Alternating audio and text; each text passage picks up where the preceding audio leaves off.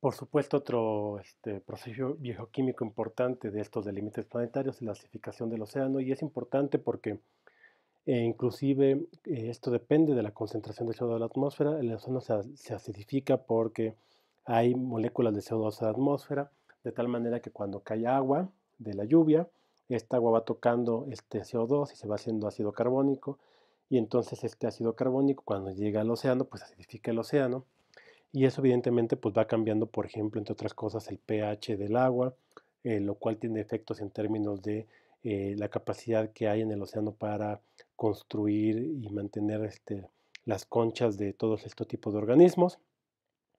Eh, y quizás una parte interesante de eso tiene que ver con que el límite o el valor umbral de acidificación del océano es más estricto que el límite o valor umbral que se ha estimado, porque no es que se calcule que sea algo precio, bueno, que se ha estimado eh, como, como el importante para cambio climático. El consumo del agua y el este, dulce y el ciclo hidrológico está a nivel global.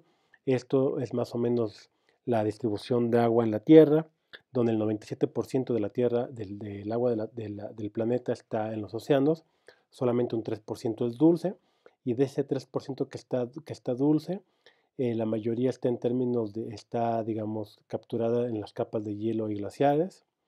Eh, otra parte, eso es como el 68%, un casi, un casi 30% es agua subterránea y solamente un 0.9% es agua dulce superficial que está en lagos, pantanos y ríos, en donde el 87% está en lagos, y solamente el 2% está en ríos. Entonces, esto cambia un poco la perspectiva de lo que la gente normalmente piensa en términos de de dónde sale el agua que toman.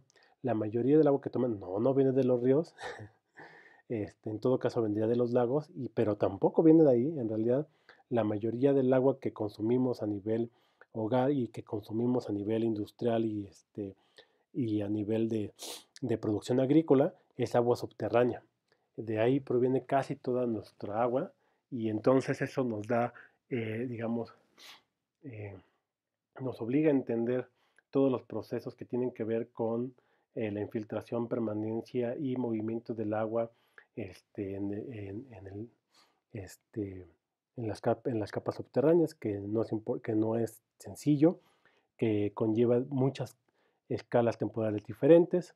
Entonces hay desde acuíferos, es decir, desde estructuras geológicas que contienen agua que llamamos acuíferos, someros, ¿no? Poco eh, eh, muy superficiales, en donde sí hay una comunicación casi directa entre lluvia, infiltración y recarga del acuífero, pero tenemos otros acuíferos profundos de inclusive miles de metros de profundidad, que más bien su agua, el agua que contienen, pues tiene que ver con procesos hace miles de años, ¿no? Entonces eh, probablemente el agua que estamos sacando de un pozo a 2.000 metros de profundidad fue agua que se infiltró en las últimas glaciaciones cuando hubo este cambio climático y este, un montón de, hielo contenido en los glaciares se fundió, se infiltró y eso fue lo que recargó y entonces eso es lo que estamos sacando como agua. Pero, y entonces eso hace que sea muy difícil entender cómo manejar eh, bien el agua subterránea porque de pronto pareciera, y algunos académicos caen en ese error, eh, evidentemente no los que tienen experiencia en el campo como como mi mentor, uno de los mejores hidrologos de México, probablemente el mejor de México y probablemente uno de los mejores en el mundo, Oscar Escolero, eh, que tuvo muchísimos años, unos 20 o más de 20 años de experiencia en Conagua.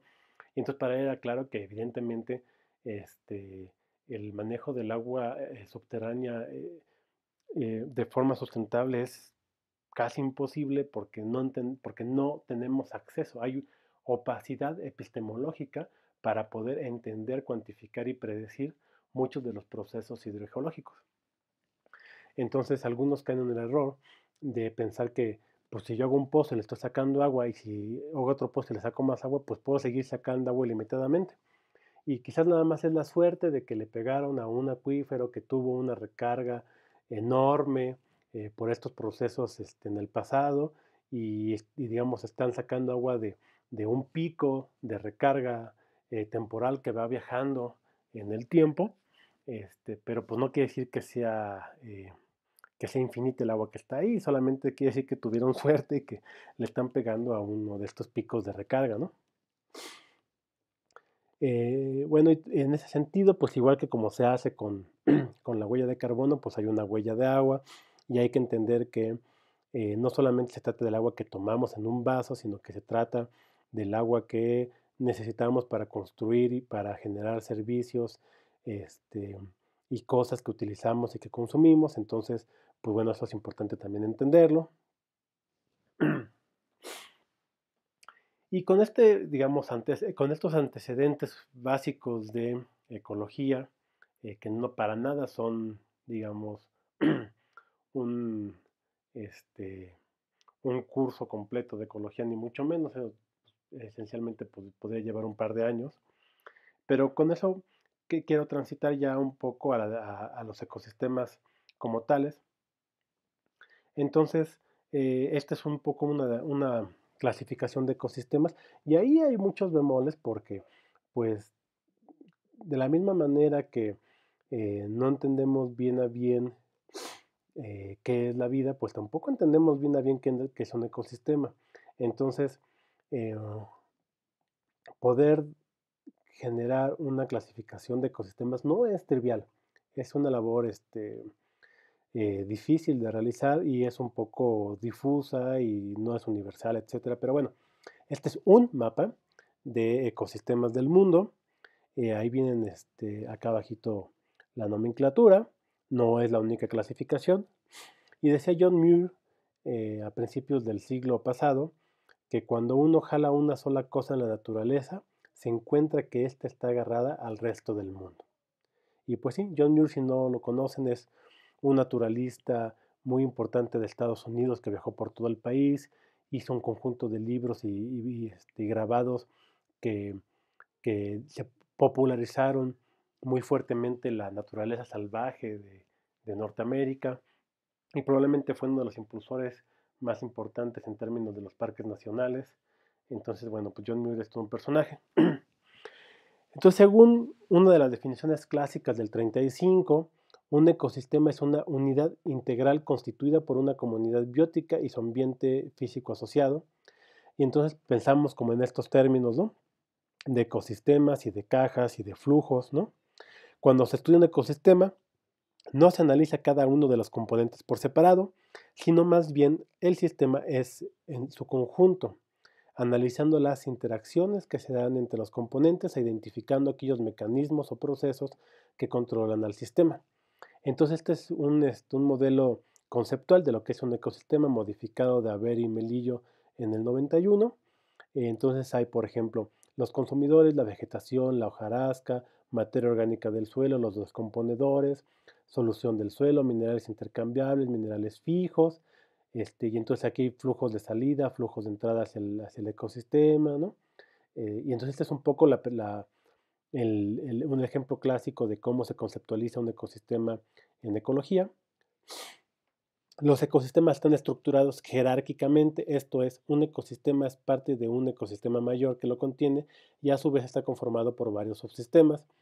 Por lo mismo, los procesos funcionales del ecosistema operan a diferentes escalas espaciales y temporales, que es lo que hemos venido diciendo. Entonces hay, este, em, hay escalas de tiempo que tienen que ver con procesos bioquímicos, con procesos fisiológicos, con procesos ecológicos o con procesos geológicos. Entonces, estas escalas de tiempo pues son desde, desde mm, microsegundos pues hasta horas quizás. Aquí los procesos fisiológicos pues van desde probablemente 10 a las 2 segundos hasta años. Los ecológicos pues más bien van del orden de, de este, de, perdón, aquí lo dije mal porque esta escala más bien es para, ah no, sí, está para ambos. Abajo está en tiempo y arriba está en espacio. Entonces lo dije bien. Eh, los ecológicos van, por ejemplo, de 10 a las 5 eh, segundos hasta pues, eh, probablemente miles de años. Y los geológicos, pues unas escalas de tiempo muchísimo más grandes, ¿no? A niveles espaciales, pues aquí tenemos, por ejemplo, un organelo, una célula, tejido, individuos o una ladera. digamos, aquí estamos hablando, por ejemplo, de un organelo o un poro del suelo, ¿no? una célula o un agregado, tejido, pues una parcela, individuo, una ladera, una comunidad, una cuenca, un bioma, una región y la, biogeósfera, ¿no? Entonces, pues la ecología, pues va desde los poros del suelo hasta el planeta mismo y desde las células hasta el planeta mismo, y en tiempos podemos ir desde micro, este, desde microsegundos, pues hasta eh, millones de años, ¿no? Entonces, pues eso hace que, la que, sea muy complicado entender con suficiente claridad pues todos los procesos ecológicos. Este es un mapa de los ecosistemas de México en términos de su extensión y distribución. Eh, tenemos matorrales, bosques templados, selvas secas, selvas húmedas, pastizales, bosques nublados, manglares y cuerpos de agua. Este mosaico eh, complejo de ecosistemas, pues es lo que hace a México un país megadiverso que tiene muchísima diversidad. Uno de los, eh, de los ecosistemas más predominantes en México es el matorral, que está fundamentalmente en toda la parte norte del país. Son comunidades vegetales dominadas por arbustos de alturas inferiores a 4 metros. Son propios de climas secos con lluvias escasas, zonas áridas, eh, frágiles que favorecen la desertificación, entonces eso los hace susceptibles al cambio de uso de suelo. En realidad son el grupo más diverso de comunidades vegetales, eso es interesante. Eh, la composición de especies cambia con la región. Existen variantes de matorrales dependiendo de los grupos de especies más abundantes. En algunos predominan plantas suculentas con y con hojas gruesas, en otros las plantas tienen hojas eh, muy pequeñas o las pierden, o tienen espinas, lo cual les da aspectos diferentes. Por ejemplo, los, los, matorrales de Tamaulipas tienen un aspecto diferente de los de Coahuila y a su vez estos de los de Baja California, ¿no? Y así sucesivamente. Este ecosistema tiene algunos servicios ambientales importantes, entre los cuales destacan, por ejemplo, eh, la regulación de nutrientes por parte de los matorrales, polinización, control biológico, hábitat, refugio y criadero de especies endémicas, producción de alimentos, de combustibles, de textiles, medicinas y plantas ornamentales. Eh, asimismo, proporcionan soporte para actividades culturales, científicas y educativas y tienen un valor estético este, imponderable.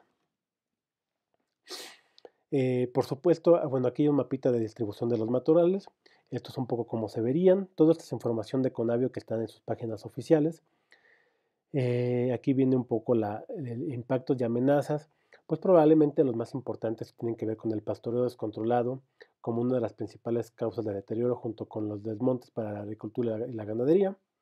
Esto ocasiona pérdida de la vegetación a causa de la compactación y erosión del suelo, la extracción de especies maderables y explotación descontrolada de plantas como materia prima industrial, por ejemplo, para la elaboración de cera, destruye este, pues, a la planta en su totalidad, ¿no?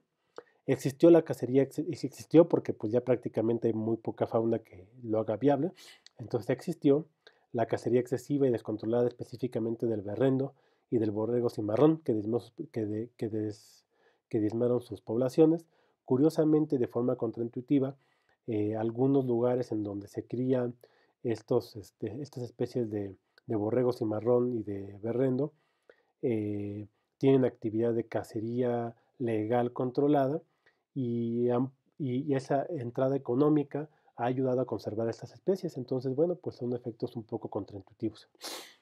Adicionalmente, la construcción de presas en el río Nazas en el siglo XIX trajo consigo la desecación de grandes extensiones como las lagunas de Mairán y de Tlahualilo. Eh, y bueno, esto está repetido, hay que, lo tengo que corregir. Aquí hay un videito muy bonito acerca de, este, de, este, ecosistema. Creo que no es demasiado largo, entonces, este, eh, pero creo que ya vamos un poco por el tiempo. Entonces, los voy a dejar para que ustedes lo puedan ver después. Eh, algunos ejemplos de este tipo de, de este tipo de ecosistemas, pues es la reserva del Pinacate y del Gran Desierto de Altar, que se ve más o menos así. Eh, hay vegetación como esta, específicamente en esta parte también tenemos dunas gigantes tipo estrellas. Esta es una zona que yo conozco relativamente bien, relativamente bien porque, bueno, pues fui un par de veces, ¿no? Eh, porque cruzamos, crucé junto con Elvia, eh, más o menos, esta línea que se ve aquí debe ser la carretera, que también es la frontera con Estados Unidos. Eh, por supuesto que este desierto es un desierto eh, de, Sonora, Arizona, ¿no? Que aquí exista una frontera no significa que, deje de ser el mismo ecosistema. Aquí tenemos este, la, frontera, la carretera, y más o menos debemos haber caminado de aquí, cruzando por todo el campo de, dunas gigantes hasta más o menos por acá, en una travesía que hicimos non-stop, quiere decir que no dormimos y, esencialmente no descansamos, en algo así como unas 34, 37 horas sin parar. Eh, estos son el tipo de, cositas que se ven ahí, entonces están estos lagartos cornudos que si los molestas te echan un chorro de sangre de, sus ojos. Hay, bastante, hay este, grupos, eh, especies interesantes de aves, eh, pues otros, este, otras este, especies de, reptiles. Obviamente hay escarabajos como este del pinacate, que eh, muy bonito en algún momento que nos paramos a, usar el mapa para, para, para orientarnos. Eh, pues había uno de estos como, como que nos seguía y entonces, este, pues padre, ¿no? Este, la experiencia. El bosque templado es otro tipo de, otro de los ecosistemas eh, predominantes en el país. Son comunidades dominadas por árboles altos, mayormente pinos y encinos, acompañados por otras varias especies que habitan generalmente en zonas montañosas con clima templado y frío. México, eh, curiosamente, contiene el 50%, que corresponde a 50 especies, de pinos del mundo y cerca de 33, que son 200 especies de encinos.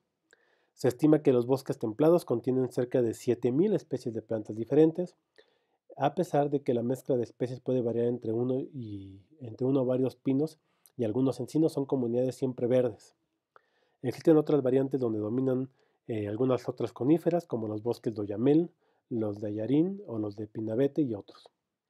Eh, por supuesto que estos ecosistemas también eh, generan servicios ambientales, retienen el agua de la lluvia, facilitando así que se infiltra el subsuelo y recarguen los mantos acuíferos. Eh, disminuyen la erosión al reducir la velocidad del agua y sujetar la tierra y reducen el riesgo de inundaciones, esto es importante. En el proceso de fotosíntesis, los árboles, como todas las plantas, capturan eh, dióxido de carbono y devuelven oxígeno. Ofrecen una multitud de hábitats distintos para gran variedad de seres vivos, además de que proveen una variedad de productos, los, este, del cual la madera pues, es uno de los más importantes. Así es como se ve la distribución del bosque templado en México. Algunos impactos y amenazas tienen que ver eh, pues, predominantemente con la tala, con la deforestación de grandes extensiones, eh, ya, sea para la venta de la madera o ya sea para hacer terreno para agricultura.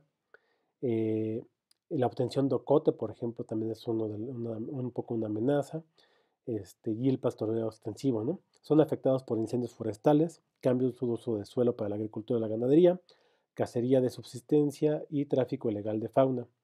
Eh, también son afectados evidentemente por cambio climático y creo que ahí, de hecho, una colega mía de Conavio, Alicia Mastrete, está, si recuerdo bien, haciendo ahorita un proyecto muy interesante acerca de cómo el ozono está afectando a las comunidades de este tipo de bosques en las zonas este, eh, cercanas a la Ciudad de México.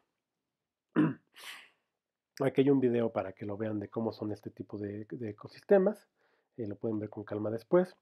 Un ejemplo, pues en estos, esta región de, Baja California, en San Pedro Mártir, donde está el Observatorio Nacional, en donde están los borregos y marrones, y que yo conozco porque tuve la fortuna de hacer una expedición ahí con mi mentor Carlos Rangel, que había estado explorando la zona pues, por durante quizás unos 23 años, tratando de subir esta pared que, se, que nosotros llamamos el escudo.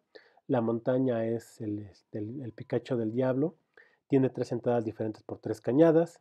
Eh, nosotros entramos por la cañada más difícil que es este, la Providencia, que está cerca a esta pared que tiene poco más de mil metros de altura.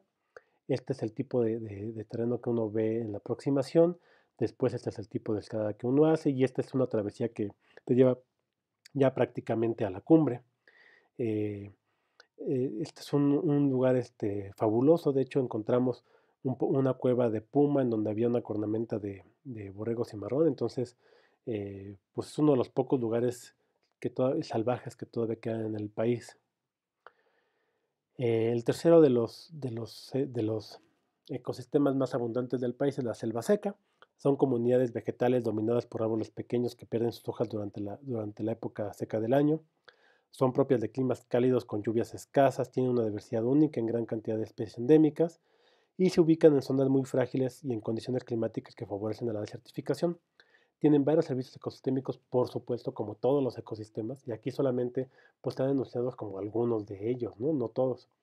Las selvas secas tienen una, baja productividad madera, pero su presencia es vital, de vital importancia porque proveen de madera, leña y productos no maderables, así como áreas de pastoreo extensivo para las poblaciones humanas.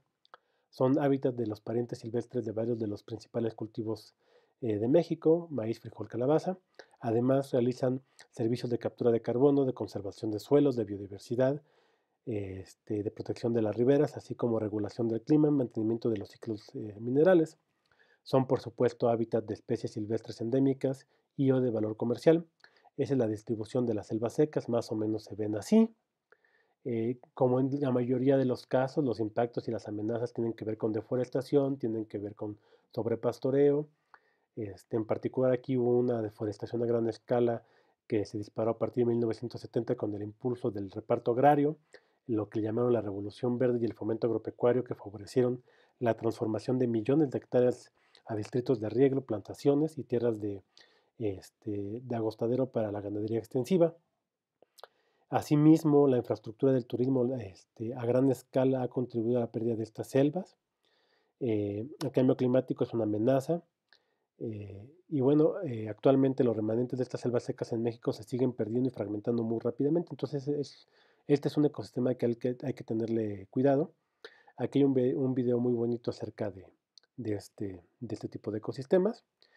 Y aquí vamos a dejar esta clase, fue la clase número 2.